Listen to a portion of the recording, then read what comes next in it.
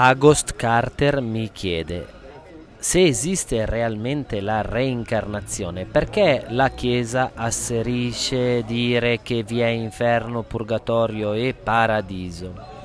Caro Agost, credo che la maggior parte dei messaggi che sono stati insegnati dalle scritture non sia stato compreso bene dalla maggior parte delle persone. Inferno, paradiso e purgatorio esistono nel momento presente, ora. Non è che devi aspettare tra l'allero, tra l'allà di schiattà per andare nell'inferno, nel paradiso, nel purgatorio che descrive il buon Dante Alighieri. No. Se tu fai del male, agisci male, il tuo inferno lo crei nel momento presente adesso, tu stai male. Tant'è che se ti arrabbi, stai male tu, è come se tu bevessi un bicchiere di cicuta. Questa rabbia crea il tuo inferno adesso. Se tu fai beneficenza, fai del bene, stai bene adesso, hai creato il tuo paradiso adesso, non fra cento anni. Lascia sta la morte, la reincarnazione, lascia sta tutte queste robe qua, ok? Pensa a adesso, fai del bene adesso perché stai bene adesso. Il non prendere una decisione ti lascia in questo stato di purgatorio, di apatia totale. È come essere in balia delle onde del mare senza prendere iniziativa. Ma che vita è? È il purgatorio. Ma che vita è? Stai in uno stato di apatia totale. Prendi una decisione. Sicuramente ci saranno dei lati positivi, dei lati negativi nella tua decisione, ma almeno hai preso l'iniziativa, hai preso in mano il timone della tua vita e affronta le onde della tua vita.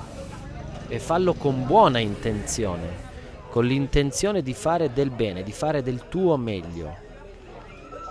Quindi non importa che cosa dice la Chiesa, che cosa dicono tutti, se è giusto questo, perché spesso le persone quando si confrontano con credenze, teorie diverse si perdono nell'ego di chi ha ragione e chi ha torto, ma lascia sta, prendi gli insegnamenti che ti fanno stare bene adesso. Lascia stare chi ha ragione e chi ha torto. Qui la questione non è avere ragione o torto, la ragione è una questione della mente, fino a quando starai succube di tutte queste regole della mente, entrerai in divisione totale, perché inizierai a pensare hanno ragione i cristiani, i buddisti hanno torto, i musulmani hanno torto, perché hanno ragione solo i cristiani, perché io seguo la, la religione cristiana e quindi è così. E con questo non ti sto dicendo di non seguire un cammino, se sei cristiano, segui il tuo cammino da cristiano, è fantastico senza occuparti di quello che è il pensiero degli altri se giusto o sbagliato. Occupati del pensiero che è giusto per te.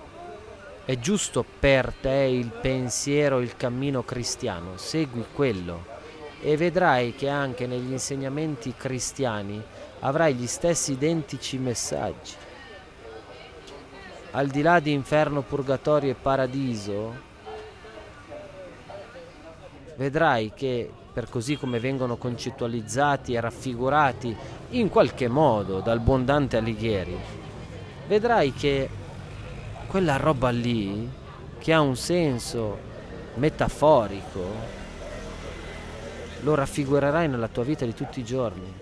Quando tu fai del male a qualcuno, stai male. E questa roba qua la puoi sperimentare adesso. Non c'è bisogno di aspettare la reincarnazione o la morte tu il bene lo sperimenti subito, il male lo sperimenti subito, l'apatia, il purgatorio, l'inerzia la sperimenti subito.